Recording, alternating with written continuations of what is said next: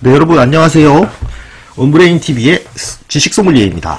여러분, 오늘은요 동아 사이언스 블로그에 나와 있는 어, 되게 재미있는 동물 소식이 있어서 가져와 봤습니다. 예, 지금은 멸종한 거북이인데요. 여러분 이게 뭘로 보이십니까? 이게 여러분 이 거북이 등껍질 화석이래요. 예? 어, 약 천만 년 전 신생대 마이오세 중기에 살았던 초거대 거북 스투벤데이스 게오그라피쿠스 아, 스투펜데이스인가 보다. 스투펜데이스 스투 아, 뭐, 뭐 중요하지 않고요. 어, 길이가 2.4m로 이 거북의 몸무게는 1.1톤이 넘었을 것으로 추정된다. 갈라파고스 코끼리 거북보다 몇 배나 크네요. 그죠? 음. 1.1톤이면 야, 이거 그 트럭 정도 되는 거잖아. 야.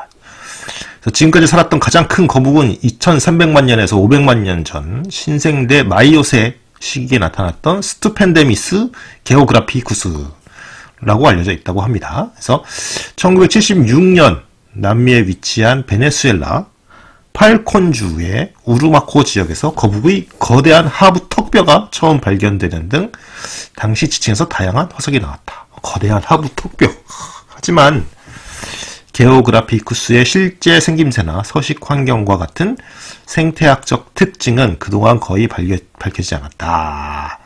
그런데 최근에 음, 콜롬비아의 어떤 교수가 이끄는 국제 공동 연구팀이 에, 콜롬비아의 2002년에 콜롬비아 라타타코아 사막에서 거의 어, 온전한 상태로 발견된 게오그라피쿠스 화석을 재분석한 결과를 발표했다고 합니다. 당시 발견된 이 등껍질 화석이 길이가 2.4m. 여러분 이거 얘기합니다. 와, 진짜. 와. 한번 상상해 보십시오, 여러분. 야, 이거 가만있어. 내 방에 반 정도 차겠는데? 야, 진짜 엄청나네. 그죠? 아, 야, 거기 진짜 그 위에서 그냥 타고 다닐 수도 있겠다. 스피드가 좀 느려서 그렇지. 그죠? 그럼 먹이도 엄청 먹겠네. 그죠?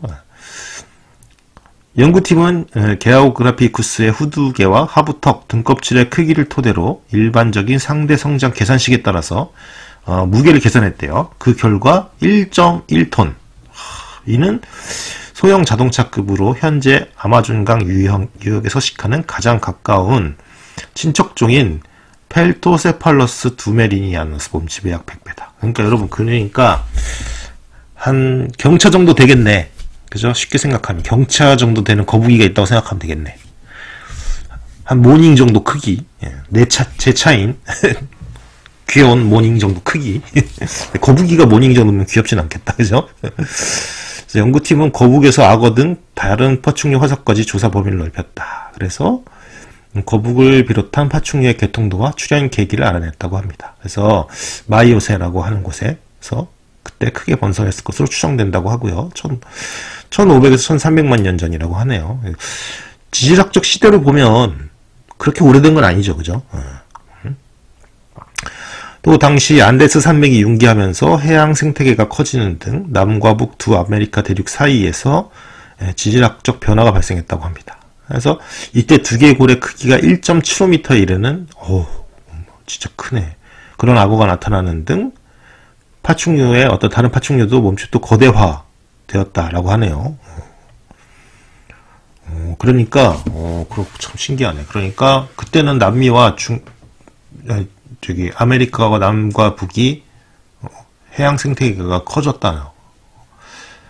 점점 그건가? 그럼 지금 보면은 파나마 쪽에 그 해협이 저기 파나마 운하도 돼 있고 거기가 되게 좁잖아요. 그죠? 그 땅이 근데 거기도 다 물로 돼 있었나 보다. 그죠? 어. 아, 물, 물로 돼, 거기, 그러니까 그때는 좀 이렇게 육지 통로가 이렇게 굉장히 크다가 점점, 그죠? 좁아졌나 보다. 안데스 산맥이 이렇게, 그러니까 판이 부딪히면서 안데스 산맥이 올라가면서, 그렇죠?